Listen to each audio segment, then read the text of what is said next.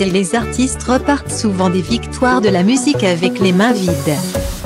Les personnes qui animent la soirée sont assurées de rentrer à malgré un intérêt de plus en plus modéré au fil des années de la part du grand public. La grande soirée des victoires de la musique reste un des événements culturels majeurs de France Télévisions.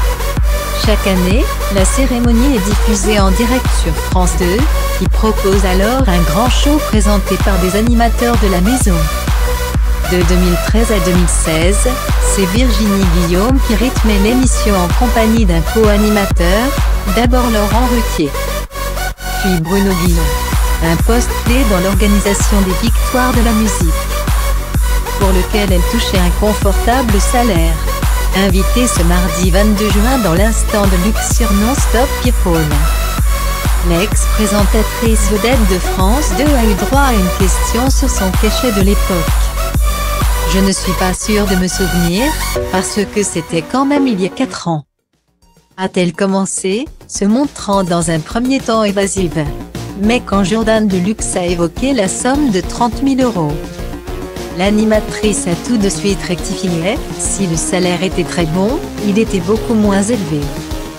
Pour les victoires de la musique, diffusées en prime time, Virginie Guillaume touchait moins que la concurrence.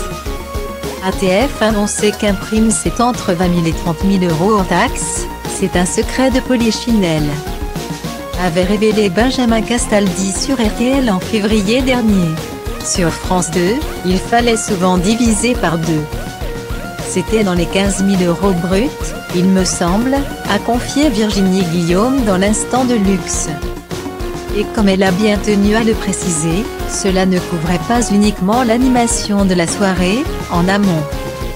Il y a trois mois, à peu près, de travail de préparation. Malgré ses bonnes performances en prime time et son salaire très correct, Virginie Guillaume a quitté le service public en 2016.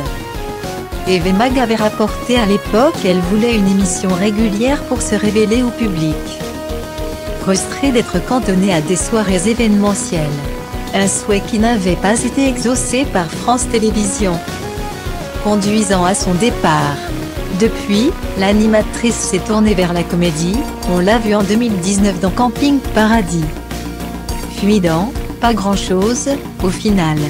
À quand son grand retour